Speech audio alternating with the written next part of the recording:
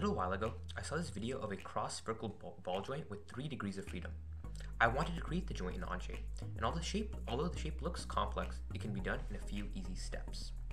Instead of creating each of the small spikes on the joint individually, we just have to create these two shapes, one with ridges horizontally and one with, uh, with ridges vertically, and take the intersection between the two.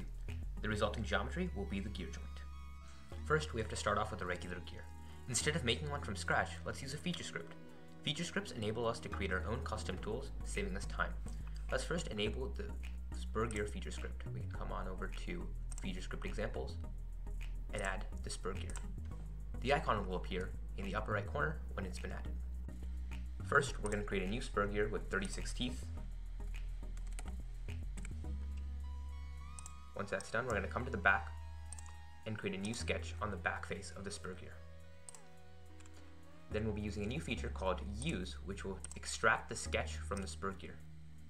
Once that's done, we can hide the spur gear so we're just looking at the sketch. Come back to the front. Now we have to create our two axes, one horizontal and one vertical. Create two lines splitting the gear horizontally and vertically. Hit OK on your sketch and move on to the revolve feature. Click these two sections and revolve it across the uh, vertical axis to create the uh, geometry with horizontal ridges. Next, we're going to hide part 2, and we're going to reveal the sketch again.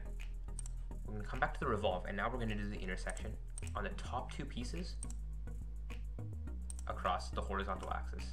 We're going to do intersect, and we're going to intersect it with part 2. When we hit OK, it's going to take Onshape a moment to compute.